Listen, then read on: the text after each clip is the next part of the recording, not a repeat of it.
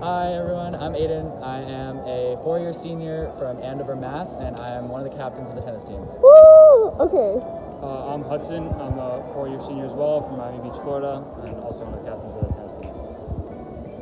My name is Mac Katkavich. I'm from Farmington, Connecticut. I'm a four-year senior, and uh, I'm also a captain of the tennis team.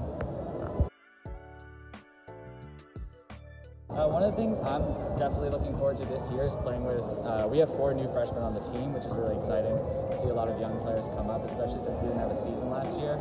So it's nice to, to kind of get to play on a team as captain with a bunch of new players. And that's something new that um, I'm looking forward to this year. Yeah, absolutely. We're, we're thankful to be able to play a season at all, considering um, that was really a question mark for a long time. So um, we're really like writing the all, all, of our energy is going towards like trying to make this uh, as successful uh, of a season as possible. So um, we're really riding that momentum. Um, I think we're I think we're a close knit team. Uh, it's a smaller team, eight guys, so we all know each other pretty well, and uh, yeah, it's a good group. But we have a lot of good chemistry, especially in doubles. Um, we got a lot of doubles practice in the past couple of weeks, and we are looking forward to trying out some new pairings this weekend against. Now. Great,